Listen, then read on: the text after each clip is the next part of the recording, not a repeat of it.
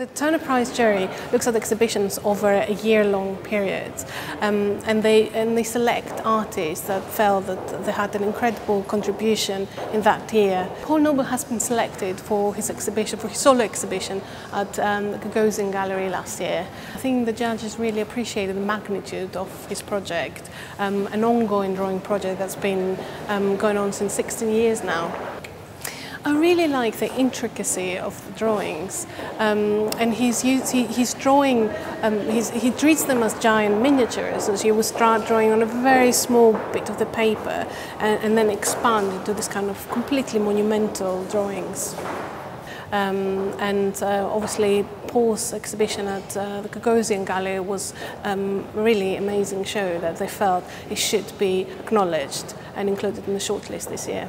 Luke Fowler was nominated for his um, uh, incredible film All Divided Selves that was shown at Inverleith House in Edinburgh.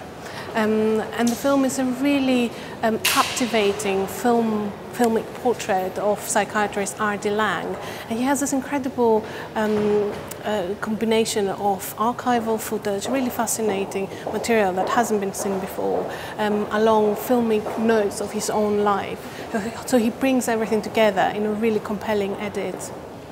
Um, Elizabeth Price has been nominated for for film The Woolworth Choir, 1979.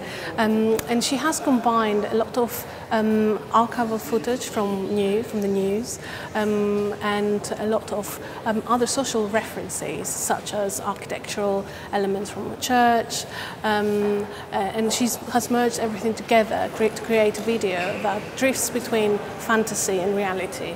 Spartacus Chetwynd has been nominated for her exhibition The Odd Man Out uh, at Sadie Coles gallery last year and she has transformed the gallery space into a carnivalesque setting to host daily live performances that include a puppet show and an oracle that offers uh, personal readings to the visitors of their future.